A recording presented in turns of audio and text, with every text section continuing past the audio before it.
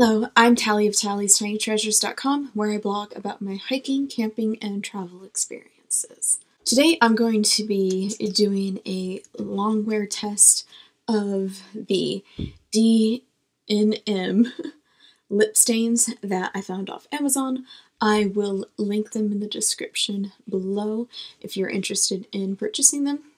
I have to say even though I searched up lip stain, and these do have some staining capability, they're not really what you I would classify as a lip stain or a lip tint. They remind me more of a normal cream lipstick that has some staining capability. If you actually read the box, it says cream lipstick, but when you read like the title of the product, it reads like a wish title. They literally like listed every single keyword that someone could possibly search for when looking for a any kind of lip product and came up with this. All right. I got the ones that I thought were the most kind of neutrals that I like. It says that this is 03, so I presume that's the color box. None of the actual lipsticks have names or colors or just numbers, anything. But I will link in the description the exact color box that I used, and there's different ones to get.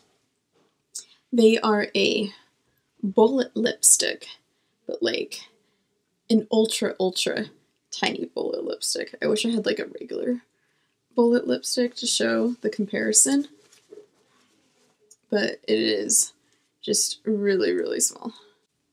Okay, let's push it all the way out. So that's about how much product you get. Not a lot, but it wasn't exactly really expensive. And I know people were really ang- a little bit angry in the reviews that it wasn't what they expected. If you just go off based off the title description, it won't be. But it's still pretty good value, I think, for what it is for a cream lipstick that has some uh, staining capabilities.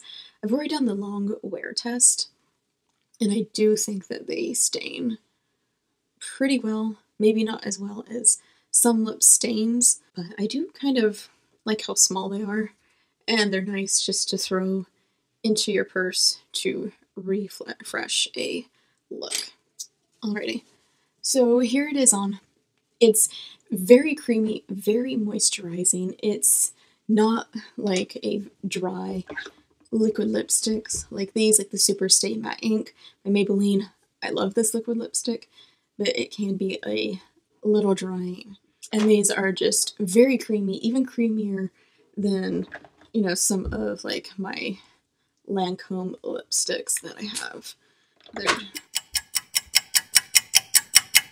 it's almost like a lip balm and a lipstick had a baby. It's very, feels very incredibly moisturizing. So if you suffer from dry lips, you might actually like this. And as I was saying, the small sizes do lend themselves to travel and just throwing into your purse or car naturally, not in the summer or if you're even in a place where it freezes, uh, the formula could freeze and then, you know, thaw and then refreeze and thaw, and that can definitely affect the chemistry. But, and in the summer, because it is a cream lipstick, just like this, it will melt but fall, spring, you could just keep one in your bag and in your car and all of that.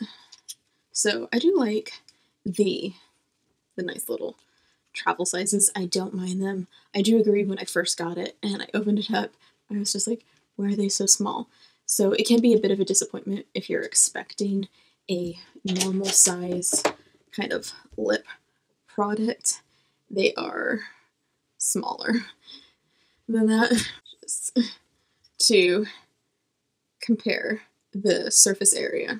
But I haven't noticed any problems, and if anything, I think the smaller size is nice to uh, get more of a detailed look for your cupid's bow. So let's try and so let's swatch these and then actually get into the long wear test. So again, I picked box uh, color number 03, and I picked these because I thought they would be really nice nudes, which I do believe they are. Some are pinkier nudes, some are peachier nudes. In this box, if you're someone who likes more brown nudes, this is not going to be for you. All right, here is our starting off point for how the lipstick looks. Going in after eating some food, I did have some transfer down onto my chin. I hate when that happens, but it rubbed off pretty nicely and didn't really seem to stain my chin too bad. And the lipstick still looks really passable. I don't think I need to reapply or anything like that. But there was lots of transfer and even transfer onto my glass. And here I am at the end of the day before I do my skincare, and I do think there is still a little bit of some pink staining uh, the real difference I can see is from other actual lip stains is that there, once I do my skincare, there is no trace of it. It's just gone. But as far as it being a actually good lipstick, I think it is. I think it's a good lipstick, but it's just maybe not the stain that everyone wants it to be.